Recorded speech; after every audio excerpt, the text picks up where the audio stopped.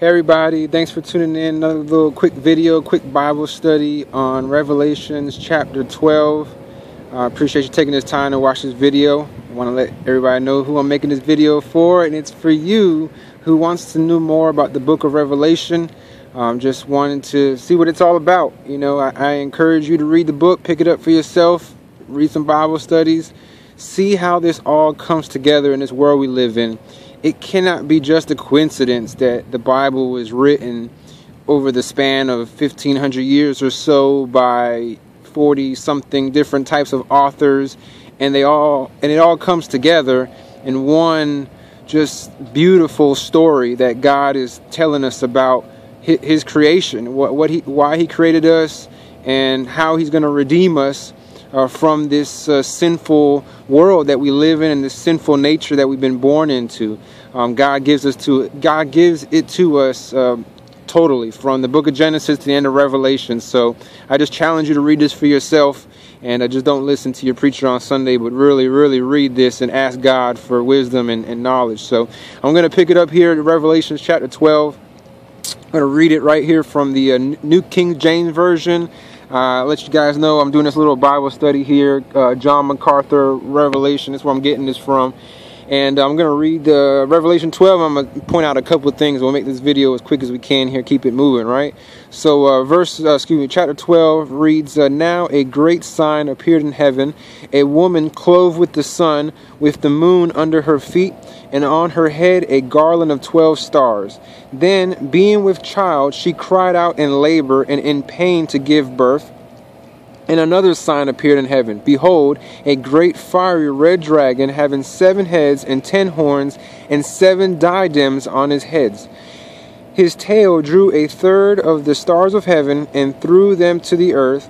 And the dragon stood before the woman who was ready to give birth to devour her child as soon as it was born.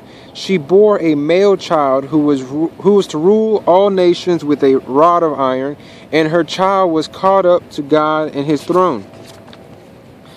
Then the woman fled into the wilderness, where she had a place prepared by God that they should flee, that they should flee, feed her there 1,270 days.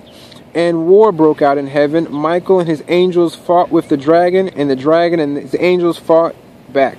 But they did not prevail, nor was a place found for them in heaven any longer. So the great dragon was cast out, the serpent of old, called the devil and Satan who receives the whole who deceives the whole world.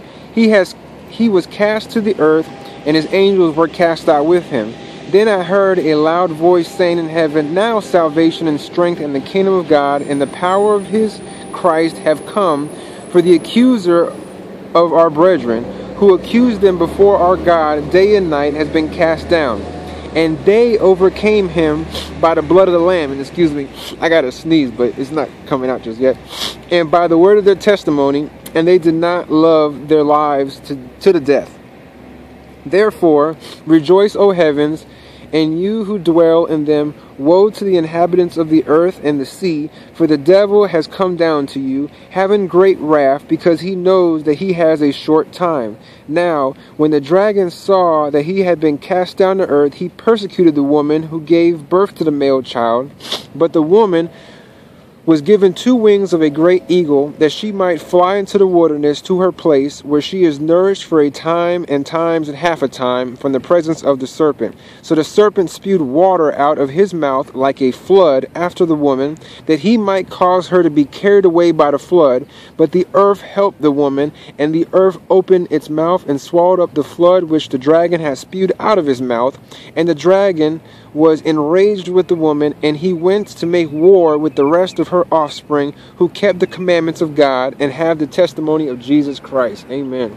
So there's Revelation 12. So I made two other videos before this one. I hope you take the time to watch them because it's going to break down who the characters are, the woman, the male child, this you know the serpent, who those people are. I'll, I'll, let you keep on digging into that if this is the first video you're seeing in this little series. So you know I know it'll come to you. God's gonna reveal that for you, uh, just like He revealed it for me. And, and I'm not anybody special. I'm, I'm a sinner just like you watching this video, and I'm believing in Jesus Christ to save me from this crazy world that we live in. And I'm just being obedient to what He's given us. He's given us the Holy Spirit in our lives to give us the difference between right and wrong, to keep on correcting us uh, so we correct our lives and give righteousness uh, back to God uh, through Jesus. So I'm going to point out in verse 4 that this is the part of the Bible that gives us some insight about Satan and what happened with Satan, you know, what he, what he's been given power to. Jesus in, in the book of John, uh, chapter 8, verse 44, calls the devil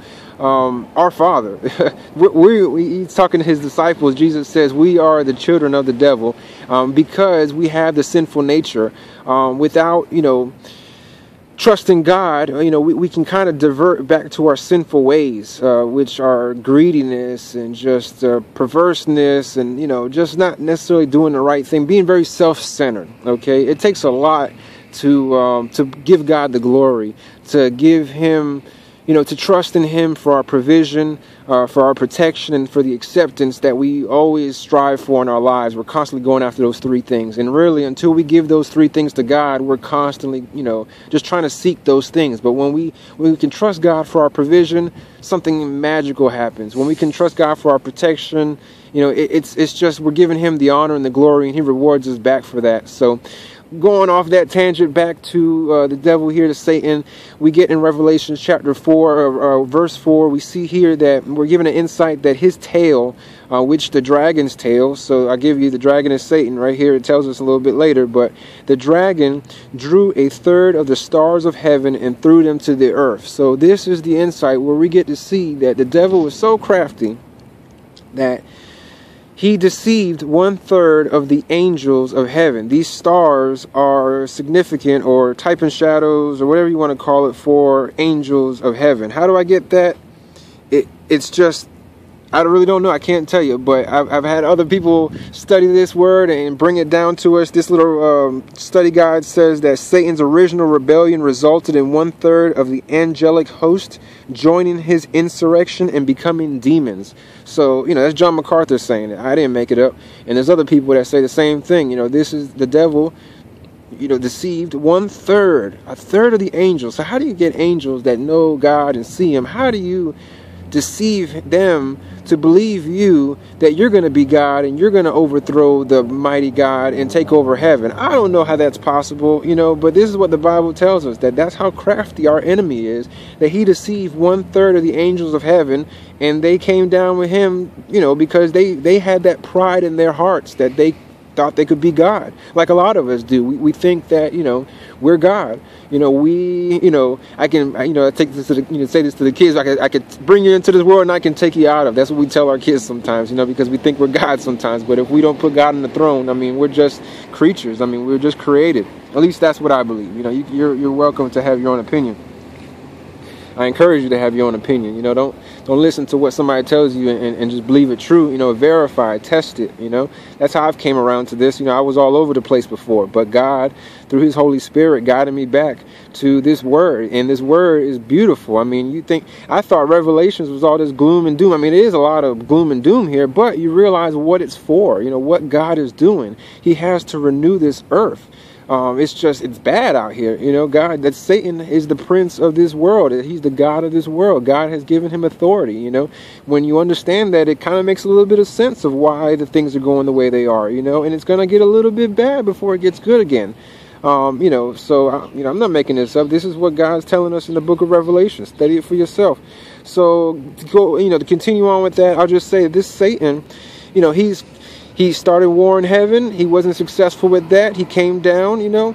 He tried to just basically destroy man, you know, constantly, you know, giving men some uh, evil thoughts, uh, you know, making them think that they're like God, that they can do what God can do, but only God can do what he can do.